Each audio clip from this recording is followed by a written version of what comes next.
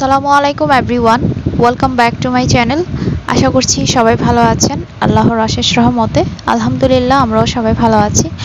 চলে আসলাম নতুন আরেকটি ব্লগ নিয়ে। তো এই যে আজকের ব্লগটাও শুরু করেছি আরিশ পাখিকে দিয়ে, আর সাথে আছে নানা ভাই। তো ইনি হচ্ছেন আমার নানা শ্বশুর। তো নানা ভাই হচ্ছে এখানে বসে বসে আমাকে হাদিস শোনাচ্ছে আর কিছু দোয়ার কথা বলতেছে। তো নানা ভাই কিন্তু অনেক কিছু জানে। তো নানা ভাই হচ্ছে এর আগেও যখন বেড়াতে আসছিল, তো তখনও আমার সাথে বসে বসে অনেক গল্প করেছে। ইসলামিক অনেক কথা বা দোয়া, তারপর হচ্ছে গিয়ে হাদিস এগুলো আমাকে শুনিয়েছে। তো আমারও খুব ভালো লাগে। আসলে মুরব্বী মানুষের সাথে কথা বললে অনেক কিছু শেখা যায়, অনেক কিছু জানা যায়। তো ওনার কথাগুলো আমার কাছে খুবই ভালো লাগে। উনি খুব সুন্দর করে বলে হাদিসগুলো। তো এই তো দেখতেই পাচ্ছেন। নানা ভাইকে। তো সবাই দোয়া করবেন নানা ভাইয়ের জন্য। তো নানা ভাই হচ্ছে মানে আসার পর প্রতিদিনই আরিশকে দোয়া পরে ফু দিয়ে দিয়েছে। তো আমাকেও বলে দিয়েছে যে কি কি দোয়া মানে আমল করার জন্য আর কি। তো এই তো এখানে আমি আরিশকে নিয়ে বসে আছি। আর নানা ভাইয়ের কথা শুনতেছিলাম। আর আরিশকে দেখতে পাচ্ছেন, সে বারবার হাত মুখে দিচ্ছে। এটা খুবই বাজে একটা অভ্যাস। তো আমি চেষ্টা করি যেন কোনোভাবেই সে হাতটা মুখে দিয়ে অভ্যাসটা না হয়ে যায়।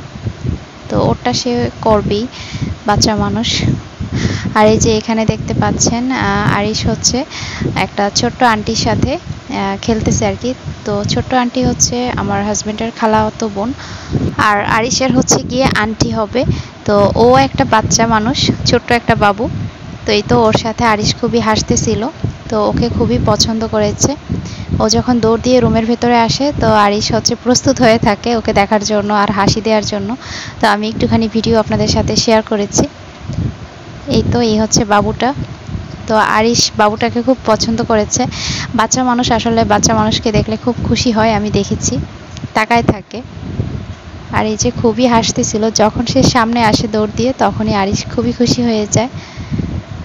তো আমার কোলে বসে বসে নাচানাচি করতেছে আর অপেক্ষা করে যে সে কখন আবার রুমে দৌড় দিয়ে আসবে। আর এই বাবুটার একটা বড় বোন আছে, তো ও ছোট, তো ওর কোলে গিয়ে আরিশা একদম মিশে থাকে। তো আমার মনে হয় যে বাচ্চা মানুষ মনে হয় বাচ্চাদের কোলে গেলে আরাম পায়। একদম চুপচাপ মিশে থাকবে ওর কোলে, কি সুন্দর বসে থাকবে। আর যদি নিয়ে কোলে নিয়ে বসে থাকে, একদম চুপচাপ সুন্দর করে বসে থাকবে। তো বড় মানুষের কোলেও সে এভাবে থাকতে চায় না। যতটা না দেখলাম যে ওই পিচ্ছি বাবুটার কোলে বসেছিল। মানে এই বাবুটা না, এই বাবুটার বড় আরেকটা বাবু আছে, ওর কথা বলতেছি আর কি। তো এই তো আরিস সেখানে খুব হ্যাপি আছে, আর বাবুটা ওকে আদর করতেছিল। তো যাই হোক, এখন হচ্ছে সকালবেলার নাস্তা খাব। আজকেও সকালের নাস্তায় হচ্ছে চিকেন দিয়ে খিচুড়ি রান্না করেছে। তো এই তো সাথে আচার নিয়ে নিলাম, লেবু আর শশা তো নাস্তা খেয়ে হচ্ছে একটু রান্না বান্না করব। তো রান্না অলরেডি আমার শাশুড়ি মা বসিয়ে দিয়েছেন। লাউ দিয়ে মাছের মাথা দিয়ে একটা সবজির মতো করে রান্না করেছেন। আর আমি হচ্ছে মাছ তরকারি রান্না করব, পেঁয়াজ দিয়ে মাছ দিয়ে। তো এই তো বাজার থেকে মাছ নিয়ে আসছিল। এখানে একটা হচ্ছে ব্রিগেড মাছ আর আরেকটা হচ্ছে রুই মাছ। তো এই যে এটা মনে হয় রুই মাছ। তো ব্রিগেড মাছ আমি খাই না। এখন চলে আসলাম রান্না বান্নাতে এখানে একটা ভাজি করা হচ্ছে, এটা হচ্ছে কচু ভাজি। এই যে এটা। কচুটাকে হচ্ছে প্রথমে ব্ল্যান্ড করা হয়েছে। ব্ল্যান্ড করে হচ্ছে, একদম মিহি পেস্ট করা হয়েছে। তো ওই যে ব্ল্যান্ড করা মিহি পেস্ট যে কচুর ইয়েটা আর কি, ওইটাকে হচ্ছে আবার সব মশলা দিয়ে কষিয়ে নিয়েছে। তো এটা ফ্রিজে ছিল ফ্রিজ থেকে বের করে আজকে এটা ভাজি করতেছে। আরেকদিনও করেছিল। তো মজাই হয় এই কচু ভাজিটা। তো এটার সাথে নারকেল কোড়া, তারপর নারকেল বাটা বা নারকেল কোড়া বা ছোট চিংড়ি মাছ দিয়ে করলেও এই ভাজিটা অনেক মজার হয়। তো এখানে হচ্ছে মাছের পেটের অংশটা হালকা করে ভেজে নিয়েছিলাম। তো এটাকে কাটা ছাড়িয়ে দিলাম। তো এটার মধ্যে দিয়ে দিল আর কি, মাছের পেটের একটু মাছ, বড় মাছের পেটের মাছটা আর কি। তো মাছ ছাড়া এই ভাজিটা আবার বেশি ভালো লাগবে না খেতে। এখানে সব মশলাই দিয়েছে, সব মশলা দিয়ে প্রথমে কষিয়ে নিয়েছে। তো এখন তেলের মধ্যে আবার পেঁয়াজ, মেথি, তেজপাতা এগুলো দিয়ে এখন ভাজিটা করে নিচ্ছে আর কি। তো এটা ভাজি করতে অনেকটা সময় লাগল আমি দেখলাম। যতক্ষণ পর্যন্ত না কড়াইয়ের গা ছেড়ে আসতেছে, ততক্ষণ পর্যন্ত এটা ভাজি করে নিতে হবে। তো এখন পাশের চুলাতে আমি হচ্ছে মাছ রান্না করব, তার জন্য পেঁয়াজটা ভেজে নিচ্ছি।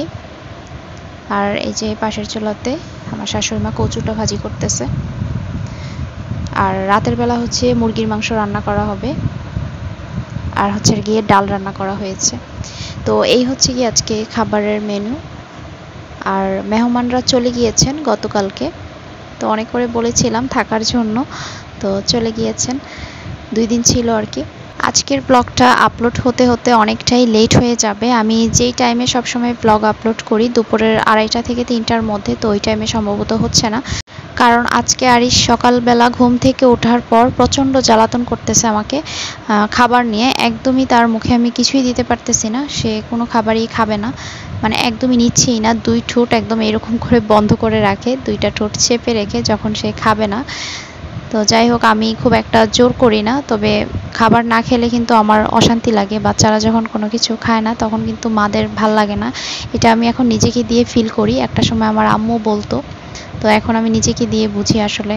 তখন নিজেরও খেতে ইচ্ছে করে না।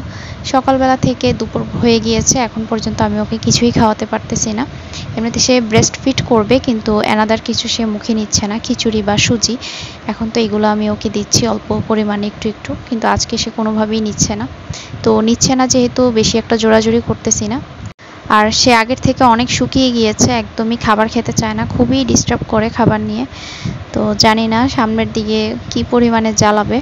আমি এখনই বলতেছি যে, মায়ের খাওয়ার জন্য রেডি হও, আরিশকে বলি মাঝে মাঝে যে, খাবার নিয়ে জ্বালাতন করলে কিন্তু অনেক মায়ের দিব।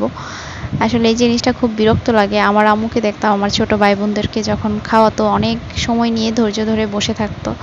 আর খাবার নিয়ে ডিস্টার্ব করলে কিন্তু খুবই বিরক্ত লাগে। তো যাই হোক দুপুরে রান্না বান্না হয়ে গেল, তারপর খাওয়া দাওয়া হয়েছে আমাদের। তো এখন আমি দুপুরবেলা আরিশকে নিয়ে সময় কাটাচ্ছি। যদি একটু ঘুমাই তাহলে আমি একটু শুতে পারব আর কি, আর যদি না ঘুমাই ওকে নিয়ে এভাবে বসে থাকতে হবে। এই যে আমি ওকে এখন দেখতেই পাচ্ছেন, আমার পেটের উপরে বসায় রাখছি। তো চুপচাপ বসে আছে। আর রুমের জানালার পর্দা টেনে রেখেছি। এটা দুপুরবেলার ভিডিও ছিল, দরজাটাও একটু হালকা ক্লোজ করে রেখেছি। যেন আলোটা না আসে, সে একটু ঘুমায়। কিন্তু সে দুপুরবেলা একটু ঘুমাতে চায় না। যদিও বা একটু ঘুমাবে দশ পাঁচ মিনিট এর বেশি না। তো সেজন্য আমারও এখন আর দুপুরবেলা ঘুমানো হয় না। ওকে নিয়েই বসে থাকি, খেলা করি, শুয়ে থাকি। আবার অনেক সময় দেখা যায় আমার ভিডিও ছেড়ে রাখি। সে খুব মনোযোগ সহকারে আমার ভিডিও দেখবে। ওই যে আমার ভয়েসটা শুনে, তো আমার ভয়েসটা তো ওর পরিচিত। তো চুপচাপ আমার ভিডিও দেখবে। এই জিনিসটা আমার কাছে খুব মজা লাগে। তবে সব সময় কিন্তু এমন চুপচাপ বসে বসে আমার ভিডিও দেখে না। যখন ওর মুড ভালো থাকে তখন আর কি। যাই হোক, এখন হচ্ছে সন্ধ্যাবেলার একটু ভিডিও আপনাদের সাথে শেয়ার করছি। এই যে এখানে আমার শাশুড়ি মা হচ্ছে সন্ধ্যার নাস্তায় সেমাই রান্না করে রেখেছে। আর আমি এখন ছোলা ভুনা করব পেঁয়াজু বানাবো। তার জন্য এখানে সব কাটাকুটিগুলো করে নিয়েছি। পেঁয়াজ কেটেছি, তারপর টমেটো কাঁচামরিচ ধনে পাতা এগুলো কেটে নিলাম। এখন হচ্ছে প্রথমে আমি ছোলা ভুনাটা করে নিব, তারপর পেঁয়াজগুলো বানিয়ে নিব। তো ছোলাটা হচ্ছে আগেই সেদ্ধ করে ফ্রিজে রাখা ছিল। পেঁয়াজুর ডালটাও আগে বাটা ছিল আর কি, তারপর ফ্রিজে রেখে দিয়েছিল ব্ল্যান্ড করে।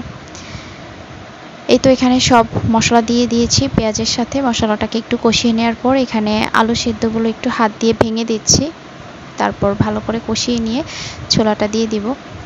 আর রান্নার মাঝখানে আমার একটা অভ্যাস আছে, একটু পর পর হাত ধোয়া। কেন জানি আমি হাত না ধুয়ে থাকতে পারি না মানে কিছু হাতে না ধরলো মানে একটু পর পর আমার হাতটা ধুতেই হবে। এটা একটা আমার খুবই বাজে অভ্যাস, নাকি ভালো অভ্যাস বলতে পারব না, কারণ একটু পর পরই আমার হাত ধুতে হয়। যেটাই করি না কেন, হাত ধোয়া ছাড়া আমার শান্তি লাগে না। তো এই তো, এখানে আমি ছোলাগুলো দিয়ে দিলাম। কিছু টমেটো প্রথমে দিয়েছি, আর কিছু হচ্ছে নামানোর আগে দিব। টমেটোটা একটু আস্তে আস্তে থাকলে ভালো লাগে। আর এখানে ডাল বাটার সাথে সব মশলা দিয়ে দিয়েছি। অল্প পরিমাণে একটু বেকিং পাউডার দিয়েছি, এতে করে পেঁয়াজগুলো একটু সামান্য ফুলবে। এই তো সব কিছু দিয়ে মিক্স করে নিয়েছি। এখানে আদা, রসুন বাটা দিয়েছি, তারপর হলুদ মরিচ, ধনিয়া জিরা গুঁড়া, তারপর লবণ, পেঁয়াজ কুচি, কাঁচামরিচ কুচি ধনে পাতা কুচি, তো এই তো। তারপর দিয়েছি একটু সামান্য পরিমাণে বেকিং পাউডার। এই যে এখানে আমার ছোলা ভুনা হয়ে গিয়েছে। এখন আমি পেঁয়াজগুলো ভেজে নিব। তো আমি এই কাজগুলো খুবই স্পিডে করতেছিলাম মানে খুব তাড়াহুড়া করে ছটপট করে নিয়েছি, কারণ আরিশকে খাওয়াতে হবে। ওর খাওয়ার সময় হয়ে গিয়েছে, যদিও অনেকক্ষণ বসে থাকতে হয় ওর খাওয়া নিয়ে। তো সেজন্য খুব তাড়াহুড়া করে করে নিচ্ছিলাম। তো এখানে ভাজাভুজি সব শেষ হলে প্রথমে হচ্ছে আমি আরিশকে খাওয়াবো আর তারপর হচ্ছে আমি নিজে খাব। ওকে না খাওয়ায় আমি খাবার খেতে পারি না, কেন জানি আমার যতই খিদা থাকুক বা যাই হোক, যতক্ষণ পর্যন্ত ওকে খাবারটা ঠিকমতো না খাওয়াতে পারতেছি বা ওর পেট খালি থাকে, তখন খাবার কেন জানি আমার ভেতরেও যায় না, আমি খেতে পারি না।